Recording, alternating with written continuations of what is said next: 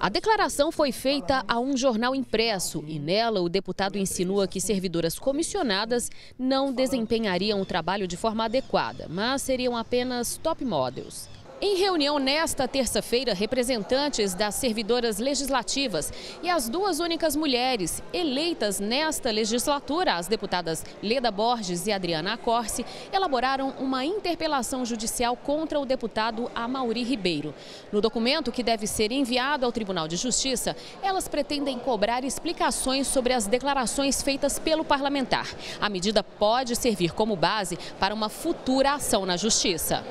Nós temos servidoras é, competentes, independente da beleza ou não, né? Não se estabelece competência por beleza. Nós podemos ser bonitas e competentes, não é não? Então isso tem que acabar. A mulher é tão competente quanto o homem. E se nós estamos aqui, estamos a, para trabalhar para a Assembleia. Hilda é servidora da Assembleia há 18 anos. Graças ao trabalho como comissionada, se formou em administração e ajudou a pagar os estudos da filha.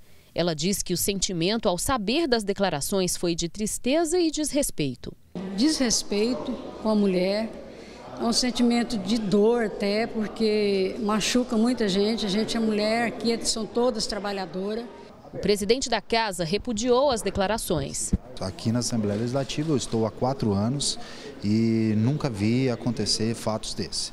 Acho que o deputado é, precisa provar o que ele falou e se tiver provas nós vamos corrigir. Nós estamos aqui para corrigir, mas também nós não vamos deixar é, que denigre a imagem das pessoas que trabalham nessa casa. Tem mães de família, tem pais de família, tem pessoas de bem e nós vamos trabalhar os dois anos do nosso mandato para defender todos os servidores. A Mauri Ribeiro falou sobre a polêmica. Não globalizei os funcionários comissionados. Eu disse que haviam casos de deputados que contratavam comissionadas pelo quesito beleza. Pelo quesito beleza para servir né, deputados e que não trabalhavam.